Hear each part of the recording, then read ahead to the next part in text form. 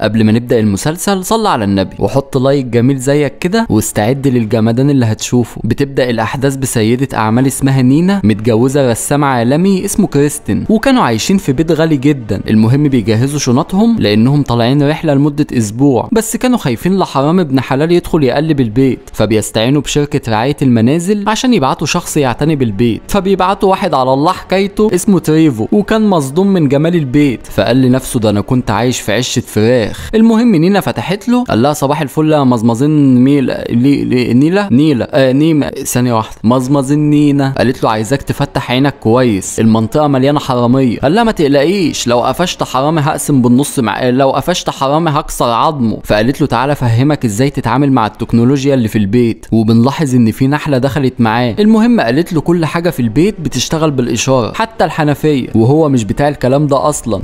ده مخه تخين وما بيفهمش. بيوصل الكلب بتاعهم وبيسلم عليه. قال له بتعمل إيه يا كلب؟ إيه ده أهي. سلم عليها. هو اتلخبط ما بين ايدي ورجلي ولا إيه يا مزمزين عيب والله. قالت له نسيت أقول لك اسمه كاب كيك. بلاش تقول له يا كلب عشان نفسيته بتتعب. قال لها طب ما تصرحيه بالحقيقة ما هو كلب فعلا. كريستين قال له أهم حاجة تاكله الأكل الموصوف ليه؟ لأنه لو أكل أكل مختلف للأسف هيجي له إسهال. وبعدين نده على كاب كيك وقال له تعالى سلم على عمه. قال له لا لا لا لا سلمت عليه من دقيقة. ده كان هياكل رجلي يا عم. بعد شوية خبط زينة متعلقة. قال له فتح يا عم الزينة دي سعرها 80 ألف جنيه استرليني قال له شوية الحبال المدلدلة دي ب 80 ألف فقال لنفسه ياه ده الواد شوقي عظمة محبوس عشان 1000 جنيه دنيا عجيبة وبعدها بيحفظوا ال password بتاع باب المكتب والمعلم ده عمال يقول له okay وهو مش فاهم حاجة فبيدخله المكتب وبيقول له في مخطوطات هنا بملايين لأنها مكتوبة بالذهب الخالص. قال له طول ما أنا موجود ما تقلقش الدنيا أمان نينا سألته اشتغلت في كام بيت بقى على كده؟ قال لها بعون الله يا مزمزين ده أول بيت أمسكه لأني جديد في الشركة. قالت له ربنا يستر أنا مش متفائلة. قال لها لا إله إلا الله امسك العقل يا مزمزين أنا اتحط في أي حتة سد فيها. قالت له صحيح نسيت أقول لك. الكتاب ده دليل كامل هيعلمك إزاي تستخدم التكنولوجيا عشان لو نسيت حاجة. حتى ال password بتاع الباب موجود فيه. فبتاخد البالطو بتاعها. قال لها عنك يا مزمزين وبيوقع الكور بتاع الكلب. قال لها توكل أنت على الله وأنا هلمها ما تقلقيش. وباين على نينا إنها خايفة منه. المهم بيلم الكور كلها وبيقفل باب المكتب وبيمشي. فبنلاحظ وجود كورة منعت الباب إنه يتقفل. بعد شوية بيطلع كعكة من التلاجة وبيتصل على بنته مادي عشان يعرفها إنه لقى شغل فبتوصل نحلة وبتقف على الكعكة. قال لها هش من هنا هش. وأثناء ما كان بيطاردها خبط التمثال بدون قصد كسر دماغه وقلبه كان هيقف يا عيني من الخوف. يعني الحبال المتعلقة دي ب 80 ألف. أمال التمثال هيبقى بكام؟ فبيبحث عن صمغ عشان يلزقه. بس نسي الدرج بيفتح إزاي؟ بيبص في الدليل وبيكتشف إنه بيفتح بالإشارة وبيفضل يشاور للصبح. مفيش فايده فبيدخل أوضة كاب كيك يمكن يلاقي عنده صمغ بيحاول يفتح الدرج بالإشارة بس بيلاقيه بيفتح عادي. والحمد لله بيلاقي صمغ فبيلزق دماغ التمثال وبيجيب السشوار عشان ينشفه. لكن الهوا بيطير الدماغ والكلب بياخدها وبيخلع. بالصدفة بيشوف ديله فبيقرب منه بهدوء لحد ما مسك الدماغ. بس الكلب كان عنيد. قال له سيب يا كلب يا ابن الكلب. وأول ما سمعه بيشتم أبوه نفسيته تعبت يا عيني. قال له يالا أنا مش بشتمك. ده اسمك يا حبيبي. أنت كلب فعلا. وبعدين زعلان ليه ده انت عايش عيش أنا مش عايشها. وبيلزق التمثال وبيحطه مكانه وأثناء ما كان بيستخدم الموبايل هرش في دماغه واتفاجئ إن المطبخ اتفتح فبيلاقي بسلة باللحمة وطلبت معاه ياكل بس الطاسة كانت في الدرج فبيقعد قدامه وبيهرش في دماغه عشان يفتحه وبينقل الكتاب على العين البعيدة عشان يستخدم العين اللي قدامه. المشكلة إنه بيشغل العين اللي تحت الكتاب ومش حاسس بالمصيبة اللي عملها فبتيجي النحلة تقف على العلبة وأول ما شافها قال لها أنا بلعب معاكي ولا إيه؟ امشي من هنا بدل ما أديكي بالشبشب على وشك. وبيقدر إنه يحبسها في الكوباية. وبيكمل تقليب في البسلة لكن النحلة بتفضل تسحب الكوباية وصاحبنا ده اتفاجئ إنها طلعت منها. فبيكمل طبخ بس بيلاحظ إن البسلة ما سخنتش حتى. مش يشوف المشكلة فين بالعكس بيعلي النار على الكتاب. في اللحظة دي الكلب بيشوف النحلة وبيطاردها. والمشكلة إنه بيدخل المكتب والباب بيتقفل عليهم. والمعلم ده أول ما شافه كان هيتجنن. مش فاهم الكلب دخل هنا إزاي. وطبعا password الباب في الدليل. والدليل بيولع على البوتاجاز. فبيحاول يلحق اللي باقي منه فبيقعد قدام الدرج وبيهرش في قفاه عشان ياخد الجوانتي. وبعدين بيحطه في الحوض وبيفضل يشاور للحنفية في كل الاتجاهات لكن مفيش فايدة. فبيجيب إزازة من التلاجة وبيحل الموضوع. بس فات الأوان والدليل ما فيهوش حتة سليمة. فبيحاول يشغل دماغه ويشوف حل تاني للدخول. بس المشكلة لما بيشغل دماغه الدنيا بتبوظ. فبيشوف النحلة قدامه وبيفهم إنها السبب في دخول الكلب. وبتخلص الحلقة على المشهد ده. لايكك الجميل وأهم حاجة تصلي على النبي. بتبدأ الأحداث وهو بيحاول يطلع الكلب بأي شكل وكل دقيقة الكلب بيتلف قصادها ملايين الدولارات فبيجيب شاكوش وبيحاول يكسر الإزاز لكنه ضد الكسر والشاكوش بيطير وبيقطع اللوحة تمنها نص مليون دولار وهو على بعضه كده لو اتباع مش هيجيب 2000 دولار. والمشكلة إن الكلب قطع الكتاب المطلي بالذهب ومن حسن الحظ بيفتكر ال password فبيطلع الكلب من المكتب وبيقفل على نفسه عشان يستفرد بالنحلة بس كانت مستخبية منه لكن بيلاحظ إن القطع الموجود في اللوحة زاد ولازم يحل المشكلة دي. فبيقلب الكنبة وبيقص القماشة بتاعتها وبيدهنها كاتشب عشان يبقى لونها أحمر. وبيحطها مكان القطع. وبعدين بينظف المكتب وبيحاول يصلح اللي كاب كيك عمله. بعد كده بيدخل ينام بعد يوم متعب. لكن بنته مادي اتصلت عليه لأنه وعدها بالسفر خلال الأسبوع. قال لها هنأجل الموضوع لأني مشغول الأسبوع ده. طلقته جيسي قالت له قدامك أسبوع بالظبط. لو ما جيتش هنسافر إحنا. قال لها هو أنت بعد ما طلقتك مزعجة برضه؟ يلا اقفلي يا وليه مش ناقص وجع دماغ. بعد كده بيفعل الوضع الليلي وبدأ ينام لكن بيتفاجئ بوجود النحلة تحت الباب فبيقوم بهدوء عشان يديها بالشبشب. لكن أول ما فتح الباب الإنذار اشتغل في البيت كله وده لأنه مفعل الوضع الليلي. وبتخلص الحلقة على المشهد ده. لايكك الجميل وأهم حاجة تصلي على النبي. بتبدأ الأحداث بعد ما جهاز الإنذار اشتغل فخاف وقفل الباب ودخل يكمل نوم. وفي تاني يوم بيطلع علبة زبادي يفطر بيها بس كان محتاج معلقة. فبيقعد قدام درج المعالق وبيهرش في قفاه. وبعد شوية النحلة بتيجي تزاوله تاني. قال لها إحنا اصطبحنا على الصبح بعد شوية النحلة بتغفله وبتدخل في البنطلون. وكان واقف مبسوط ومش حاسس بحاجة. في الوقت ده ظابط المنطقة وصل اسمه ماكس. قال له سمعت صوت الإنذار اشتغل بالليل. في مشكلة ولا حاجة؟ قال له لا يا باشا مفيش. ده ده آه لا مؤاخذة بس حاسس بحاجة ماشية على جسمي. قال له أنا هكتب إنذار باللي حصل. في الوقت ده النحلة وصلت للمنطقة الحساسة. وصاحبنا ده بيحاول يبان إنه طبيعي لكن غصب عنه مش قادر يمسك نفسه. قال له مالك يا أستاذ ما تقف عدل. أهو يا سيدي أديني وقفت عدل. آه آه بت طب أشوفك وقت تاني يا باشا عشان معايا مشكلة. بعد كده بيربط رجل البنطلون وبيقلعه بإحكام عشان ما تخرجش منه. وبعدين بيدبسه زيادة أمان. دماغ شغالة يا باشا أمال أنت فاكر إيه؟ وأخيرا قفش النحلة في البنطلون. بعد كده بيشوف النحلة قال لها هش من هنا. إيه ده؟ جت منين دي؟ يا واقعه بيضة يا ولاد لا تكون هي. بيتفاجئ إنه نسي يقفل السوستة. قال لها يا أنا يا أنت في البيت ده. وقرر يعمل مصيدة عشان يمسكها. فبيحط زبدة فول سوداني في الميكروويف بحيث أول ما تدخل يقفل عليها. وبيستنى اللحظة المناسبة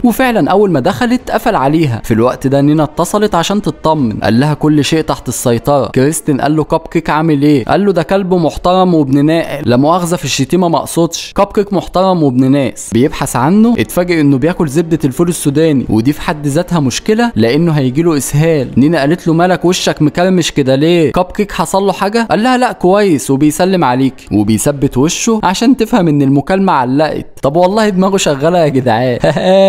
المهم بياخد الكلب يدخله مكانه وقال للنحله حسابك معايا عسير. وكان هيشغل الميكروويف عشان يحرقها بس قلبه الطيب منعه فقرر إنه يطلعها من البيت وخلاص. وعشان يضمن إنها ما تهربش بيخلع الجهاز بالكامل وبيطلع بيه في الجنينة. والحمد لله بيتخلص منها. لكنها بتشوف البيت وبتتجه ناحيته تاني والغلبان ده بيحاول يسبقها عشان يقفل الباب. لكنها بتدخل البيت في آخر لحظة. وبكده النحلة أصبحت جوه وهو اللي بره. قلبه الطيب وداه في داهية. وبتخلص الحلقة على المشهد ده. قبل ما نبدأ الحلقة صلى على النبي واللي ما حطش like يحط عشان ما اعملش مشاكل مع حد. أمين. بتبدأ الأحداث مع صاحبنا وهو بيحاول يدخل بس المشكلة إن أبواب البيت بتتفتح من جوه بس فبيحاول يدخل من فتحة الكلب بس بيفهم إنها بتتفتح من خلال الطوق بتاع الكلب فبيحاول يعمل إنه كلب عشان يطلع يلعب معاه لكن مفيش فايدة. هزق نفسه على الفاضي وبيلاقي مفيش غير حل واحد بس. بيجيب قطة وبيحطها قدام فتحة الباب وفعلا نجح إنه يطلع الكلب من الفتحة فخد الطوق بتاعه ولبسه عشان يدخل من خلالها. لكن الفتحة كانت ضيقة جدا واتزنق زنقة وحشة. واتفاجئ إن الكلب جاله إسهال وملى المكان آيس كريم. والقطة بتهرب في اتجاه تريفور والكلب مش عايز يحلها. والغلبان ده مش شايف اللي بيحصل وراه. هو سامع بس. والكلب بدل ما يعضوا القطة بيعضوا بالغلط وبيمسح الآيس كريم بوشه. والريحة بقى ما أقولكوش تحفة. فبيقوم يمسح وشه وبنلاحظ إن الكلب عضه في رجله اليمين مشوها رجله. فبياخد مضرب التنس وبيحاول يقتل النحلة بأي شكل لكنها دخلت في فتحة التهوية. قال لها يا أنا يا أنت في البيت ده وحاول يوصل لها لكنه وقع من فوق وجسمه اتملى هباب في الوقت ده الظابط ماكس وصل البيت فبيلبس روب وبيفتح له وطبعا بيستغرب من شكله. قال له جالي بلاغ إن في حرامية في المنطقة. أنا جاي أحذرك خلي عينك في وسط راسك. قال له خلي عيني في وسط راسي إيه؟ شايفني المسيح الدجال. اتكل على الله يا باشا ما تقلقش. وبتخلص الحلقة على المشهد ده. لايكك الجميل وأهم حاجة تصلي على النبي. بتبدأ الأحداث بعد ما اتبهدل بالشكل ده. فدخل دخل يستحمى عشان يهدأ اعصابه وشغل حاسب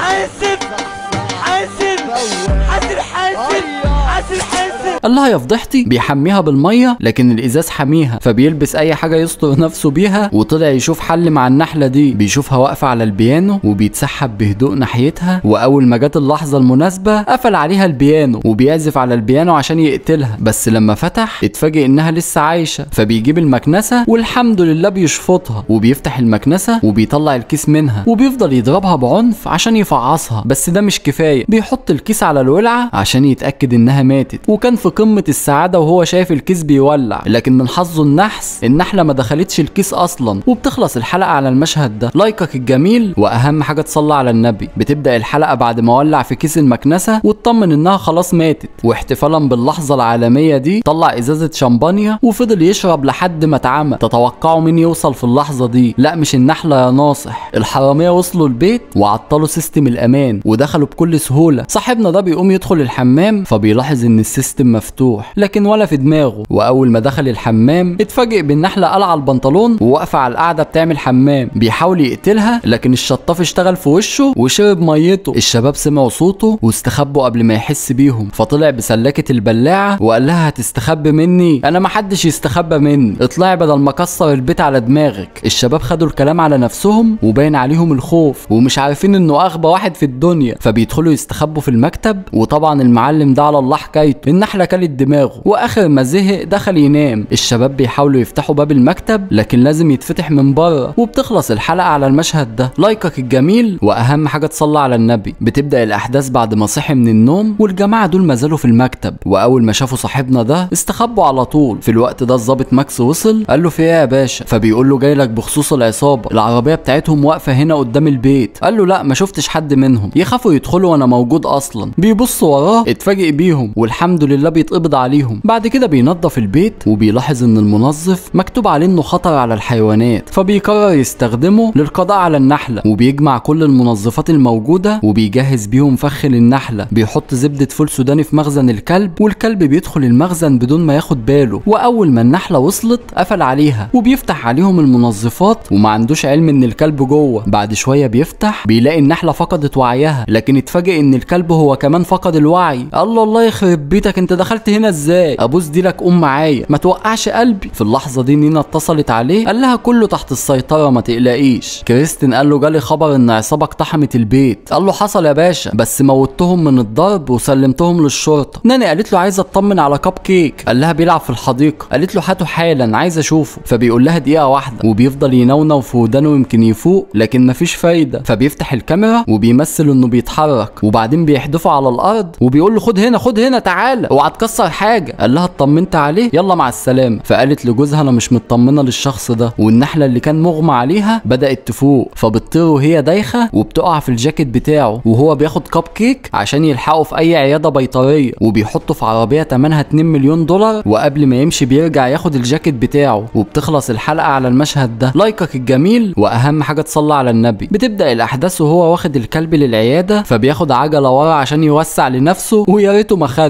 المهم بيتجه للعيادة عشان يلحق الغلبان ده لكنه اتفاجئ بالنحله موجودة. الله والله لا اديكي بالجزم. وبيفضل يتخانق معاها وكان هيعمل حادثة بسببها. قال له فتح يا اعمى مش شايفني بتخانق مع النحلة؟ وبعدين بيحبسها في الطفاية. وبيوصل العيادة بالسلامة والحمد لله بيعالج الكلب وصحته اتحسنت. بعد كده بيدخل العربية وبيقفل على نفسه عشان يستفرد بيها. لكن بيفتح الطفاية مش بيلاقيها. فبيسمع صوتها جوه العربية وبيعمل المستحيل عشان يوصل لها. وبعد ده كله هربت منه برضه فبيحس بحجم المصيبة اللي عملها بسبب النحلة. وأثناء ما كان بيعيط بيشوف النحلة واقفة على رجله بيضربها بالحديدة وبيكسر عظم رجله. وبعد معاناة بيقرر يستسلم لأن غالبا كده مستقبله ضاع بعد اللي عمله والنحلة مش عايزة تسيبه. قالت له بحبك يا جدع في إيه؟ فبيبحث عن السبب اللي مخلي النحلة بتطارده طول الوقت وبيفهم إن الإناث بتطرد الذكور من الخلية وبالتالي بيعيشوا لوحدهم لحد ما يموتوا. وبيفهم إن ده ذكر وانطرد من الخلية بتاعته. فبيقول له يعني أنت مش قادر على النسوان اللي عندك في الخلية. هتيجي تقرفني أنا. بعد كده بحث عن كيفية صنع قنبلة. وبيجيب بيت نحل. وبيحطه في نص الجنينة. وبيحط عسل عشان يستدرجها وتدخل البيت. وتحت البيت بيحط المتفجرات عشان يفرتكها. وبتخلص الحلقة على المشهد ده. تفتكروا هيموتها ولا هو اللي هيموت بحصرته؟ هنشوف في الحلقة الأخيرة. لايكك الجميل. وأهم حاجة تصلي على النبي. بتبدأ الأحداث بعد ما نصب الفخ. وأول ما النحلة دخلت فجر القنبلة فيها. والمفاجأة إن النحلة ما زالت عايشة. وهو اتصدم صدمة حياته. والبيت نزل من فوق على الكلب يا عيني. مش يهدى ويسكت بقى. بيجيب آلة إشعال وبيدخل وراها البيت. وبيولع في المكان باللي فيه. في الوقت ده نينا وجوزها وصلوا. اتفاجئوا بشقة عمرهم بيولع قدام عينيهم. وبعد كل ده النحلة ما زالت عايشة. قال لهم بتتفرجوا على إيه؟ امسكوها. وطبعا اتقبض عليه. والقاضي حكم عليه بثلاث سنين سجن. وبنته يا عيني كانت حزينة عليه. بنشوف كريستين بيتكلم مع مندوب شركة التأمين. وبنفهم إنه مأمن على الحاجات القيمة اللي عنده. المندوب قال له هنعوضك عن اللي حصل ب 9 مليون دولار. بتعدي الأيام وبنشوف تريفور قاعد بياكل في السجن وبيلاحظ إن الحرامية اللي كانوا عنده في البيت موجودين معاه في السجن. بيسمعهم بيقولوا إن كريستين دفع لهم فلوس عشان يسرقوا اللوحات من بيته. وكانت لوحات مزيفة ومفهم الناس إنها غالية وده عشان يبعت حرامية يسرقوها وياخد قصادها تعويض كبير من شركة التأمين. فبيتصل بالظابط ماكس وبيحكي له اللي سمعه. وبالليل كريستين كان عامل حفلة في بيته وحاطط لوحات مزيفة وبيقول للناس إنها بملايين الدولارات فبتوصل الشرطة وبيقبضوا عليه بتهمة النصب وبيشهد عليه واحد من الحرامية وبالتالي تريفور بيطلع وكريستين بيدخل السجن مكانه. ومش مصدق إن الغبي ده هو اللي كشف سره. وبنته كانت في قمة السعادة لأنه طلع. بعد كده شركة التأمين بتكرمه وبيطلعوا عليه سمعة إنه أذكى شخص في المدينة. بعد كام يوم بياخد بنته يفسحها وكان مستمتع بالجو والدنيا جميلة. فبتيجي نفس النحلة وبتقف على الأكل بتاعه. فقال لنفسه هي سنة بيضة مش هتعدي. وكان هيقتلها بس رجع في كلامه. قال لها خدي كلي مش خسارة فيك. مبسوطة؟ قالت له شكرا لأدبك. قال لها أدبي آه. طب شوفي قلة الأدب بقى. وفضل يطاردها في كل مكان على أمل إنه يقتلها. وبيخلص المسلسل على المشهد ده. الجزء التاني لسه منزلش لما ينزل هلخصه. وأهم حاجة ندعي لإخواتنا في فلسطين والسودان. أشوفكم الفيلم الجاي.